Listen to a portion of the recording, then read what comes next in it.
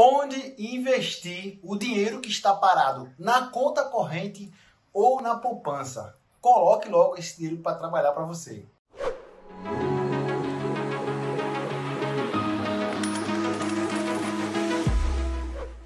Eu sou Davidson Barbosa, sou educador financeiro e se você ainda não é inscrito no canal, já aproveita, se inscreve e manda esse vídeo para mais uma pessoa. Se liga que eu vou te dizer hoje onde você vai colocar o dinheiro para que ele rentabilize, inclusive o dinheiro do mês. Se você recebe no dia 5 e a conta vence no dia 20, esses 15 dias o dinheiro poderia estar trabalhando para você. Esse dinheiro que fica disponível aí na conta corrente, na poupança, muitas vezes ele é chamado de reserva de emergência. Eu gosto de chamar de colchão financeiro. Esse dinheiro ele vai atender alguma demanda inopinada, algum gasto aí que não estava planejado. Vai atender os imprevistos. Normalmente, se fala entre 3 e 12 meses dos seus gastos. Se você vive, paga suas contas e tá tudo certo com 3 mil reais e você tem um emprego estável, paga certinho, nunca atrasa, tem ali uma estabilidade, 9 mil, 10 mil reais, né? Três vezes os 3 mil reais, tá o suficiente para você deixar montar esse colchão financeiro. Agora, se você ganha de maneira volátil, né? Um mês ganha mais, um mês ganha menos, depende de comissão, você deve ter aí um espectro maior dessa, desse colchão financeiro, chegando aí pelo menos aí aos 10 meses dos seus custos, que é o tempo que você vai se realocar no mercado, uma pandemia, um fechamento, uma redução salarial, você vai conseguir ainda se manter. Então, pelo menos 10 vezes os seus custos. Se os seus custos chegam a 3 mil reais, você deveria ter 30 mil reais investidos. É isso mesmo que você ouviu, beleza?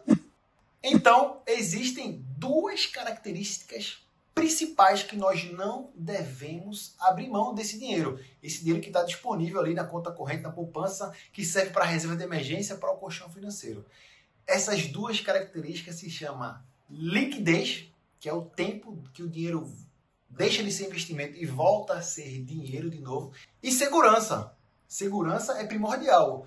É a quase certeza, né? 99% de certeza, que o seu dinheiro vai estar lá quando você for transformar o investimento em dinheiro novamente. E eu vou deixar aqui dois lugares, dois lugares principais onde você pode deixar esse dinheiro. Um deles é o Tesouro Direto.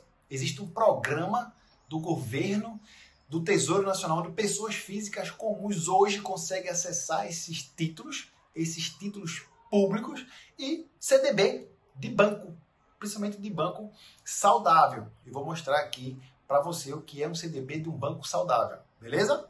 Lembrando que isso aqui não é uma recomendação de investimento. Eu faço isso com o meu dinheiro e talvez você que já está entendendo melhor como é que funciona isso aqui. Se você não está entendendo nada, procura outros vídeos aqui no canal, se inscreve, deixa o legal para não perder nenhum conteúdo novo aqui, onde eu já falei mais, aprofundei sobre isso aqui também. Mas vamos lá.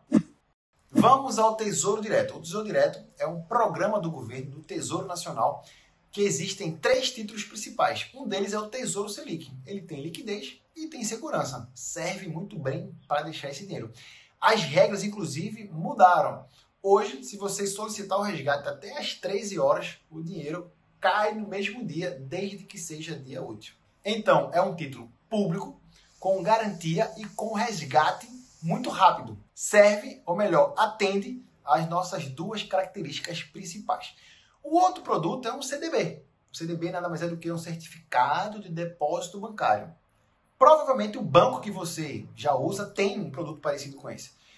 O detalhe é o seguinte: se você consegue acessar um título público seguro que paga aí a Selic, e às vezes Selic mais alguma coisa, você não deveria aceitar nada menos do que 100% do CDI. A Selic e o CDI é praticamente a mesma coisa para efeito didático aqui. A diferença vai dar um hambúrguer no final das contas. Então, para efeito didático, o Selic e o CDI é a mesma coisa. Se você consegue acessar sozinho hoje, pessoa física comum, o Selic, por que você ia acessar o CDI e vai acessar menos? Não, no mínimo 100% do CDI, que equivale praticamente à mesma coisa do Selic. Então a ideia é títulos privados, normalmente oferecidos por instituições financeiras, chamados de certificados de depósito bancários, que rende o indexador sendo CDI, que vai ser equiparado na nossa conta hoje como pelo menos 100% CDI, esses produtos eles têm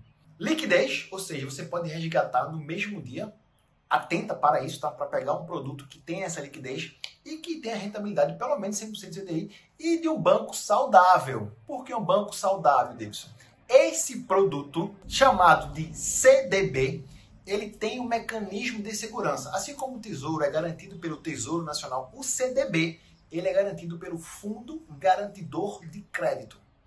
Que até 250 mil reais, naquela instituição você está garantido. Se a, o banco vier a quebrar, a instituição vier a quebrar, o Fundo Garantidor de Crédito vai te devolver esse dinheiro. Mas, peraí, se é uma reserva de emergência, um colchão financeiro com liquidez diária e você vai precisar resgatar esse dinheiro a qualquer tempo, a instituição financeira deveria ser uma instituição financeira saudável, que dê lucros. Preste atenção aqui. Esse aqui, você vai lá no, no site chamado Banco Data, coloca a instituição financeira que você quer e dá um clique lá e olha como é que está o extrato. Se esse gráfico tiver verdinho assim, como esse aqui, isso aqui, verdinho, isso aqui significa lucro. É um banco saudável que está no lucro.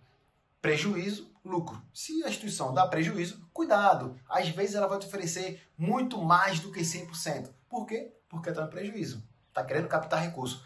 Se o banco está no verdinho, está saudável, ele vai oferecer 100% e olha lá. Briga pelo 100% de um banco saudável que você vai achar. E eu vou te falar nesse vídeo ainda, só que lá no final. Calma aí. O primeiro print aqui que eu te falei é do Nubank. Não é muito saudável. O segundo print aqui que eu te falei é do PagBank.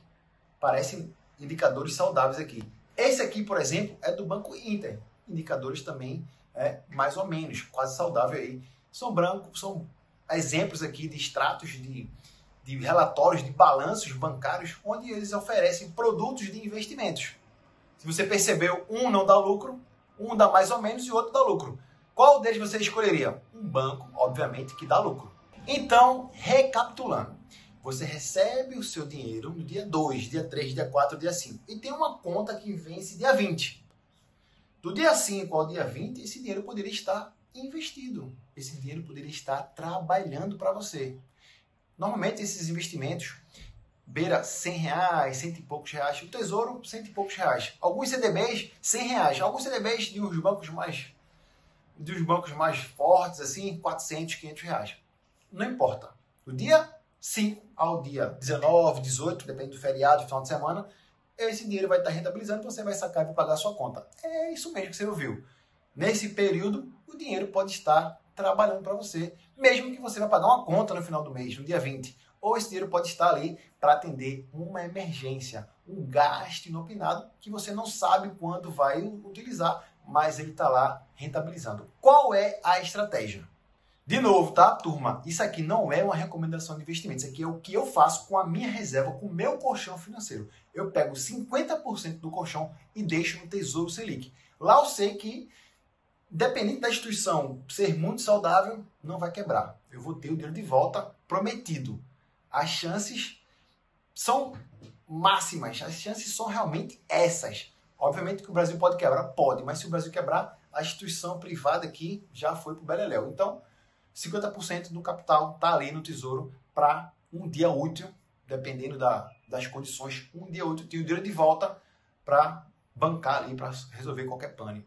Geladeira que quebrou, carro que bateu, vazamento na casa, uma máquina de lavar que inclusive está precisando já, ela vem fazendo os barulhos, tem que fazer a troca aqui. Se não precisa, se for, vou ter que comprar outra máquina de lavar. De onde, é que vai ter, de onde é que vai sair esse dinheiro? Da reserva. Ninguém vai comprar uma máquina de lavar toda semana, todo mês. É uma vez quando quebra. Os outros 50% do colchão financeiro eu vou buscando mais rentabilidade. Um dos exemplos de onde está hoje uma parte dos outros 50% é no CDB do PagBank.